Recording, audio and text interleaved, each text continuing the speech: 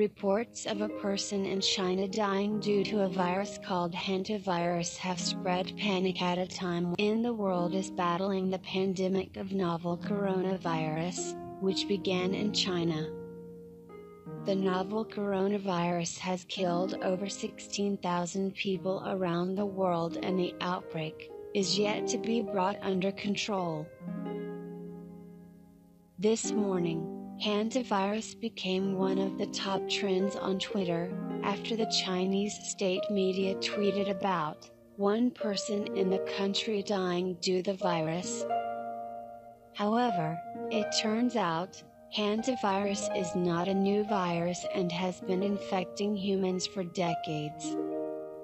Global Times, a state-run English language newspaper, wrote on Twitter on Tuesday, a person from Yunnan province died while on his way back to Shandong province for work on a CH ordered bus on Monday.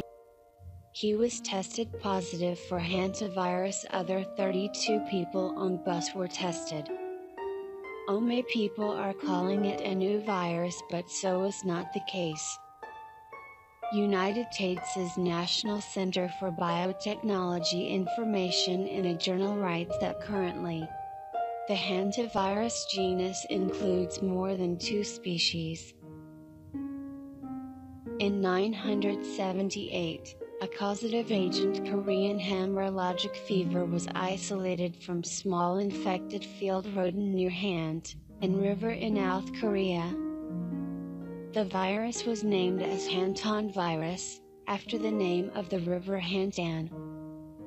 This initial discovery dates back to scientific approaches that were initiated after the Korean War, during which more than 3,000 cases of Korean hemorrhagic fever were reported among United Nations troops.